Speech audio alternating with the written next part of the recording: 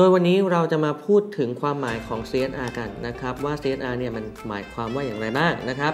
โดยคำว่า CSR เนี่ยคือการดำเนินธุรกิจควบคู่ไปกับการใส่ใจรักษาสังคม และสิ่งแวดล้อม ให้ยั่งยืนต่อไปเรื่อยๆนั่นเองโดย CSR ที่แรกที่เราจะมาพูดถึงกัน และคนนิยมกันมากที่สุดเลยนะครับ นั่นก็คือที่จังหวัดนครนายกนั่นเองครับ ซึ่งนครนายกเนี่ยถ้าคนที่ไปทำ CSR เนี่ยที่ดังที่สุดเลย ต้องไปที่เขื่อนขุนด่านปราการชนนั่นเองครับไปที่นี่เนี่ยได้ทำอะไรบ้างนะฮะมีหลักๆเลยก็คือการปั้นกระสุนเมล็ดพันธุ์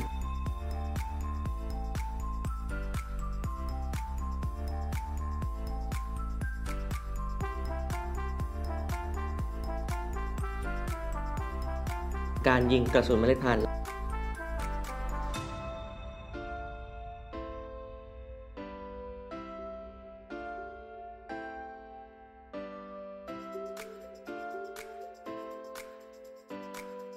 และการปล่อยพันธุ์สัตว์น้ำด้วย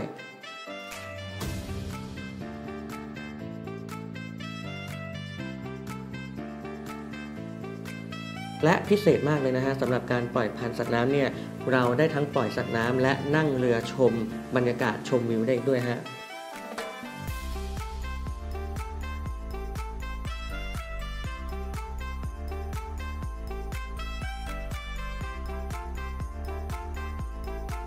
เพราะฉะนั้นพูดได้เลยว่าไปที่นี่เนี่ย